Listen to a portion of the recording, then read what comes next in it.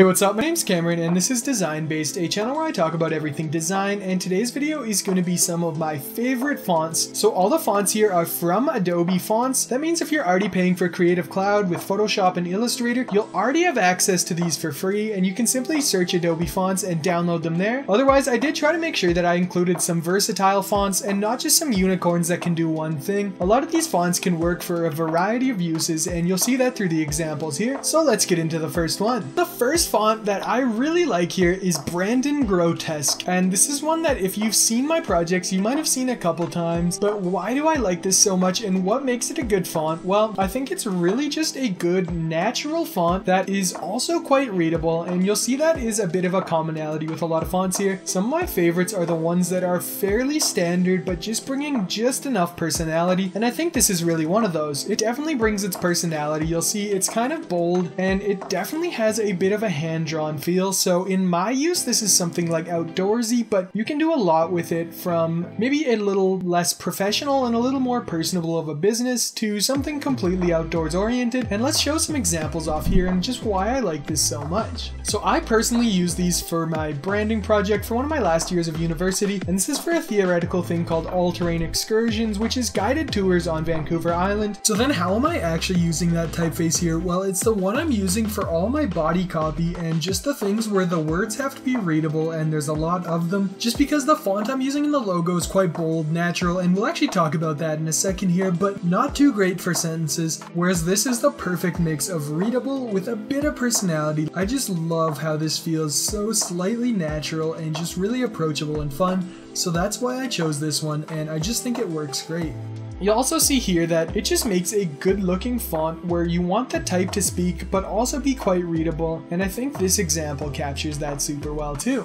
And then the next font here is probably one of the more boring ones, but it's still a great font. A lot of the time, boring means versatile, and that is definitely the case with Gibson. So Gibson falls into the category of pretty basic geometric sans serifs with things like Gotham and Montserrat, but I find Gibson is a little closer to Helvetica and is really just a good font that you can really use wherever you need. Almost any time you need body copy, this will work well, but if you go into the bolder weights, it actually works super well for titles and you'll see in my examples that's one of the ways I use it. But overall, Gibson's just a great family with a lot of different weights, quite versatile, and just a little bit of humanist personality with some of the curves and some of the bolder forms. So I use this for my grad show branding, and we use this for all of the body copy, but also a lot of the headlines. So on the promotion here, you'll see that all the text that was supposed to be readable is in Gibson, and the other ones are just some display fonts, but you can see here just changing the weight of Gibson, you can do a lot lot with it. Overall, it just really leads with a professional and bold appearance and works great in some uses like this. You'll also see here that obviously it's not the font of the welcome, but the Blackstone Valley Prep High School under it is in Gibson, and again, it just works really well at being bold and readable text. So if you're looking for an everyday font that's going to work well on a lot of things, look no further than Gibson. And then changing directions a lot here, we have Rigid Square, and obviously, so far, this is the most unique and out there one, but it's still quite versatile versatile and I'm impressed with how many ways you can use it. I really, really like this typeface for a variety of reasons. I think with kind of what's popular in esports right now, this one fits right in and feels pretty at home there, but also it is a pretty good typeface for a lot. You'll see using it bold in sentence case does read completely differently than using a lighter weight in capitals, so there's a lot you can do with it, but it's just a great font if you need some cool headings and it really works well,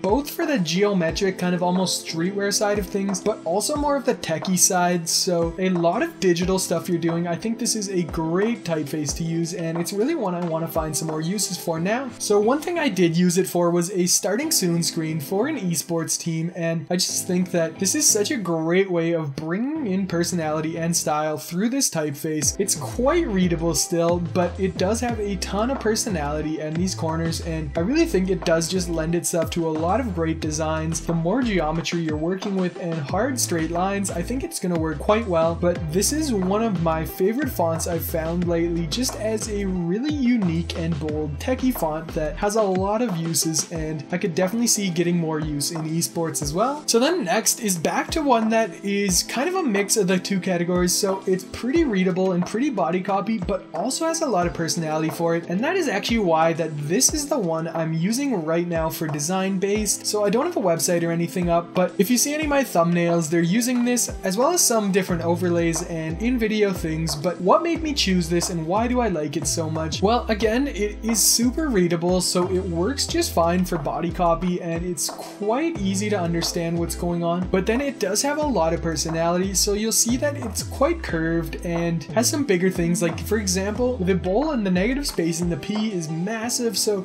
just a little more personality there. Overall, it's just a really nice font. The curves make it feel quite light and approachable and human, but it also feels almost a little technical or somewhat professional in that aspect. So I just like how broad it is and the context that it offers. And I really personally like using this in the bolder weights with the super bold dots on the eyes and the J's. I think it just looks great and brings in some friendliness while also some boldness, which can be something that's hard to capture. So here's an example of one of my thumbnails and I just use it in all caps. Obviously one complaint here might be that the apostrophe is one of almost the prime marks and doesn't have too much of the curved lighter feel but it works well and you could substitute it if you wanted to. But again it really just feels quite nice and technical and bold while still being approachable and I love that. There's also some more weights so you can use it with things like italicized. I don't love that as much but it works well for quotes. And then here's an example of a bit different of a use where you're really letting the type speak for itself because it is definitely a a little more standout from something basic like Gibson, so you can use this font for all sorts of different things and it really can be used as a type piece and just stand out and get the whole feel you want without needing to add any unnecessary visuals. So I just really like how this typeface speaks and how it presents itself. So then next up here is Fira Sans and this is another one of those kind of geometric sans serif typefaces that just does a lot. One thing I really like here is that it reads quite perfectly as body body copy in that top example there, but I also super love how it reads as a bold headline, and I think there's just so much you can do with that lower thing. I don't think I've actually made a project with this typeface yet, but I'm super excited to in the future, and I think this is one of those ones where if you wanted to use just one family for a whole brand, it would work great just because of the versatility within it. But again, you'll hear me repeating this a lot, and these are a lot of my favorite typefaces. It's so usable and quite simple, but with just a bit of personality, so you'll see it adds kind of some inkwells or the curve on the Q just to give it some style, and I think that really stands out and speaks well. I could definitely see this being used in a viral marketing campaign or something where it's just bringing a little more fun into some bold type. And then here's a bit of a different use of it. It also works well if you just want to stay within the lighter weights and just use it for something like an app or a website, maybe even a book, probably an ebook, but it is just quite easy to read. It's super nice. You'll see in the italics, it really feels quite humanist and and if you like what's going on with that Spiegel text there, I'd also check out Brie Sans, just as a lot more of the more fun, light, airy, semi-feminine, and just quite approachable body copy fonts. This is definitely one you should keep in the repertoire and look at. And then I also really, really like this font for some more bolder titling uses, but there's not too many examples of that online, so I just threw one together really quickly, but I just think it looks so good and kind of speaks for itself. If you were running an ad campaign for something like Nike Nike, I think this is just the perfect font. It's just so bold and fun and just has a little bit of style to it that I really think it does work great for bold headlines and posters, and I'd love to see some of you guys use it for that. And then the next font here is Cubano, and you'll see this is definitely a bit more bold and a little more specific or limited in its use, but that being said, there's still a lot of different ways this can be used across different industries or different projects there, so we'll go over some of that. You will see that it is pretty limited limited. It's all quite bold, and there's actually only bold weights. There are some italics or sharp ones, but it's all bold in caps. So this is a font designed for headings and titles, maybe things like logos, but really that's how it's designed. That's how you're gonna have to use it. It's not gonna work in body copy, but it is just so versatile for headings. You'll see it's quite bold, but it's also quite fun with the way that the letters are made and quite natural. So that's a lot of intersections you can use it for. So for example, it's on a window out front of my dog's daycare because obviously that incorporates fun and bold, but also different natural things like wilderness, I think it works great for, so I'll show you some examples there. And I wish I had noticed this sharp variety earlier because this works super well for a little less hand-drawn feeling things, maybe a little more readable, so some smaller headlines and stuff, I think the sharp would work great. So I actually use this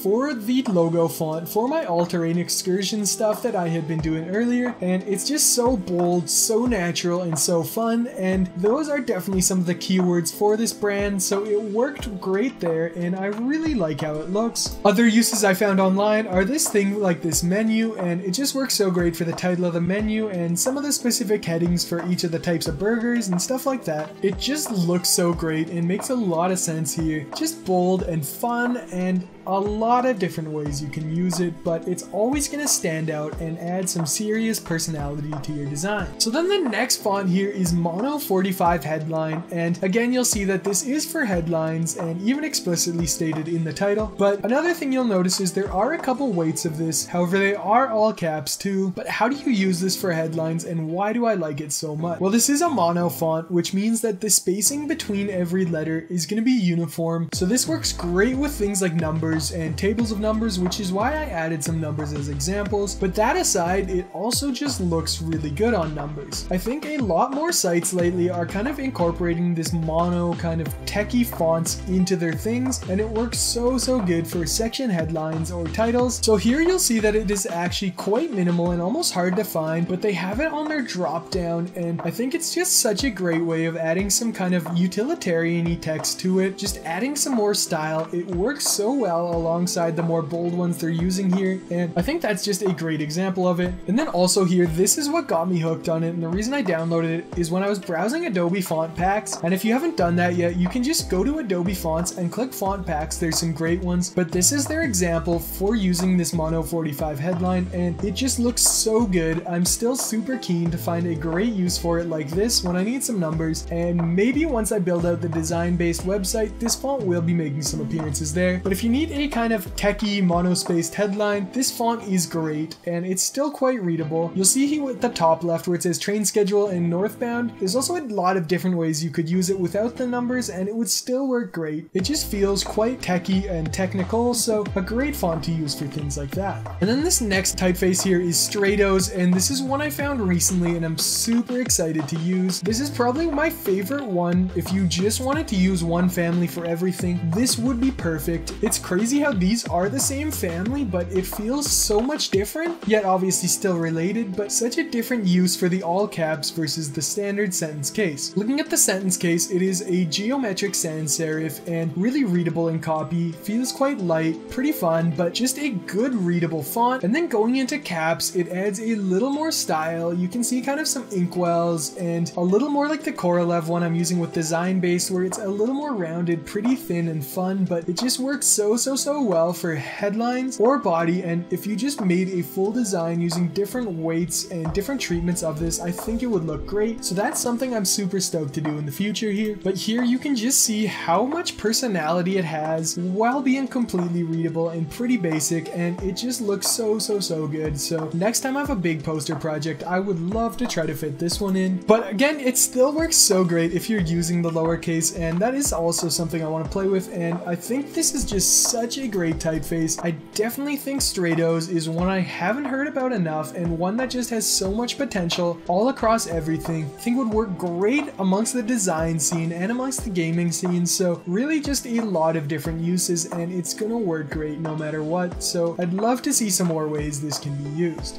Alright, so there we have it. Those were 8 of my favorite fonts, and I tried to do only versatile ones from Adobe Fonts, so hopefully after watching this video you're inspired, and maybe you can pick up a couple of these right away and start using them in your projects. It is crazy how much you could do just using the ones in this video, and it is crazy how many different ways you can use some of these, even when they look quite specific. They'll work for a variety of cases, so hopefully you can get some good value out of this and sync these fonts right away. I'd I'd love it if you can share with me what you do with them. If you found value in this video, please drop a subscription and like this video. It will help me out a ton. Other than that, I hope you're having an awesome day and go design something great.